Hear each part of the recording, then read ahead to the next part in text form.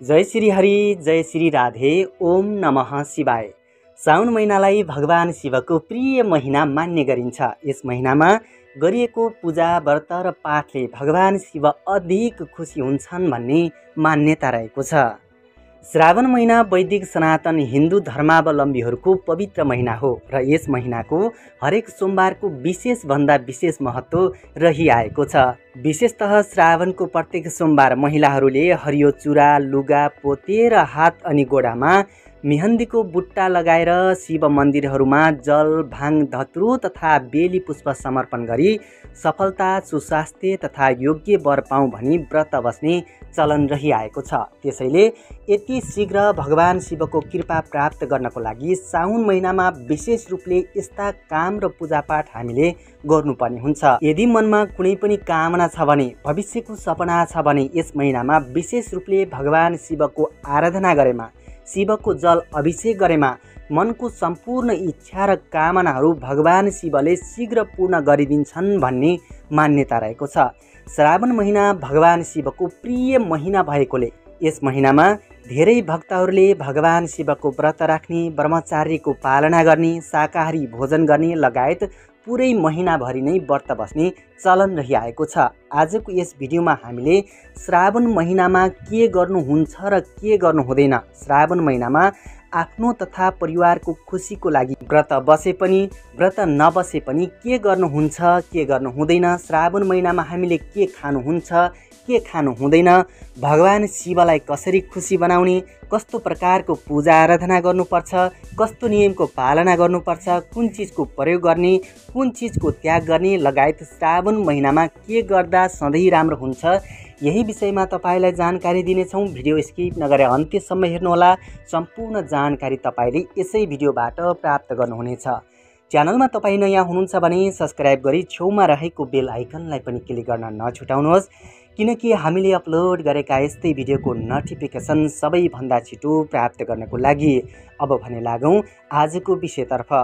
आदरणीय दर्शकवृन्दहरू शास्त्र अनुसार साउन महिनालाई विशेष महिनाको रूपमा लिने गरिन्छ। यस महिनामा भगवान् शिवको थोरै मात्र पूजा पाठ र आराधना गर्नाले थोरै प्रयास मात्र गर्नाले भगवान्को भक्ति गर्नाले हाम्रो सम्पूर्ण मनोकामना पूर्ण हुने मान्यता रहेको छ। अन्य महिनाको व्रतभन्दा साउन महिनाको व्रत र पूजाको फल धेरै प्राप्त हुने मान्यता पनि रहेको छ। यस महिनामा सानो प्रयासले पनि भगवान् शिव खुसी हुने गर्दछन्। विशेष गरी श्रावण महिनामा योग्य वर पाऊँ भने विवाहको लागि व्रत बस्ने चलन रहिआएको छ। सन्तान प्राप्तिको लागि पनि श्रावण महिनामा व्रत लिन सकिन्छ। पारिवारिक समृद्धिको लागि पनि साउनको व्रत एकदमै महत्त्वपूर्ण रहेको छ। पति र पत्नी बिचको सम्बन्ध सुमधुर बनाउनको लागि पनि साउन महिनाको व्रतको विशेष महत्त्व रहन्छ। त्यसै गरी घरमा आर्थिक सुख शान्ति र समृद्धि धन प्राप्तिको लागि पनि साउन महिनाको व्रतको विशेषभन्दा विशेष महत्त्व रहिआएको छ। कुन कुन नियमको पालना गर्नुपर्छ त? व्रत बसे पनि व्रत नबसे पनि यस श्रावण महिनामा नम्बर एकमा रहेको छ। तामासिक भोजनको त्याग गर्नु जस्तो कि लसुन प्याज खानु हुँदैन भन्ने मान्यता रहेको छ मासु माछा त्यसै गरी मदिरा पानको सेवन गर्नु हुँदैन भन्ने मान्यता रहेको छ मसुरको दाल मुला भान्टा त्यसै गरी बासी र डढेको खाना पनि यस साउन महिनामा खानु हुँदैन भन्ने मान्यता रहेको छ। श्रावण महिनामा शुद्ध भोजन गर्ने त्यसै गरी फलाहार गरेर व्रत लिन सकिन्छ। बिहान बेलुका एक छाक खानेले या त बिहान मात्र या त बेलुका मात्र आफ्नो एउटा नियम बनाएर एक छाक खाना खानेहरूले चाहिँ खाना खाने आफ्नो निश्चित समय अवश्य पनि बनाउनु होला त्यसै गरी श्रावण महिनामा अर्थात् साउन महिनामा झगडा कलेस र वाद विवाद नगर्नु भनेर भनिएको छ। आफ्नो परिवारमा किन नहोस् साथीभाइको बिचमा किन नहोस् आफन्तीहरूमा किन नहोस् छरछिमेकमा किन नहोस् कहिले पनि हामीले साउन महिनामा वाद विवाद र झै झगडा नगरेको राम्रो हुन्छ।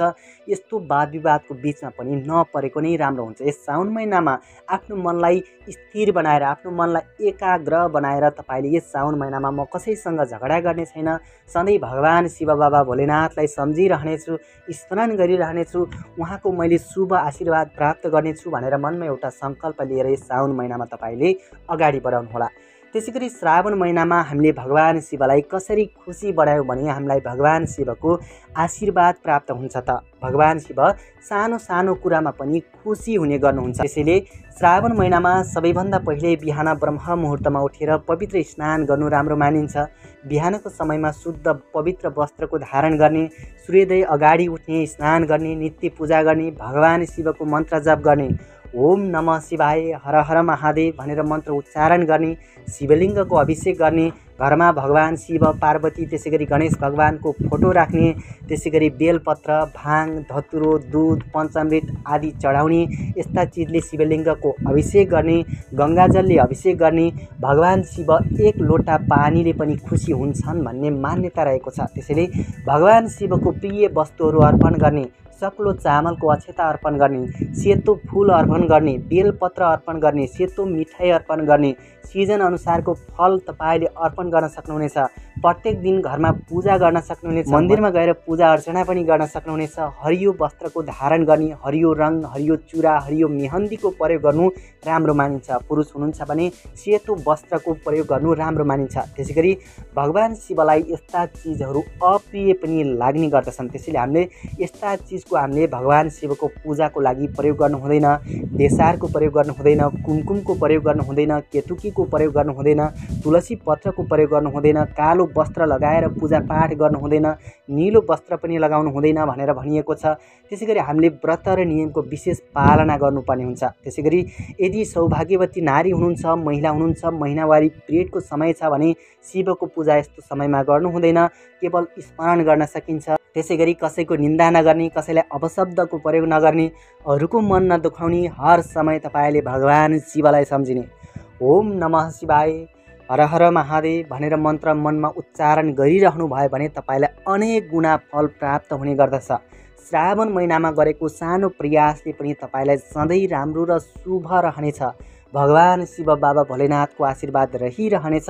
तपाईँले यी नियमको पालना गर्नुभयो भने श्रावण महिना तपाईँको लागि साँच्चैको एउटा पवित्र महिना रहनेछ र तपाईँलाई सधैँ सुख शान्ति र समृद्धि प्राप्त हुनेछ। हाम्रो प्रस्तुति कस्तो लाग्यो जस्तो लाग्यो त्यस्तै कमेन्ट र प्रतिक्रिया दिन नभुल्नुहोला। हामी यस्तै भिडियो लिएर सदा वहा उपस्थित हुनेछौँ। तबसम्मको लागि भिडियोलाई लाइक र च्यानललाई सब्सक्राइब गर्नुहोस्। अहिले भने बिदा हुन्छौँ। नमस्कार।